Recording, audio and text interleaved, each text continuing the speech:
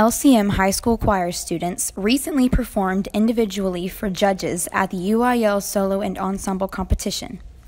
All students earned a medal, and 26 students qualified to perform and compete at the state contest in May. Choir teacher Nikki Hansen said competing in solo and ensemble can be very challenging, but her students stepped up and were successful. I believe the most challenging part for my students for contest is to sing their solo alone for a judge. Um, that they sing in front of the judge and the judge is looking right at them. And they have their accompanist, but it's just them. And I think that's the hardest part, especially for students who have never participated in UIL solo before. Two, three, ready, and.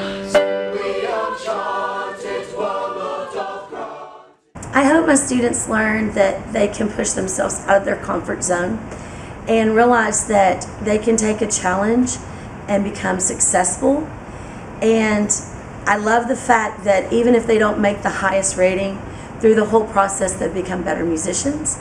And that's a plus for them in the long run. It helps them. And it also helps us as a program as we are growing as musicians as well. Senior Abby Brown has been involved in choir since her freshman year and has been quite successful over the years. She is one of the 26 students that will compete at the state level.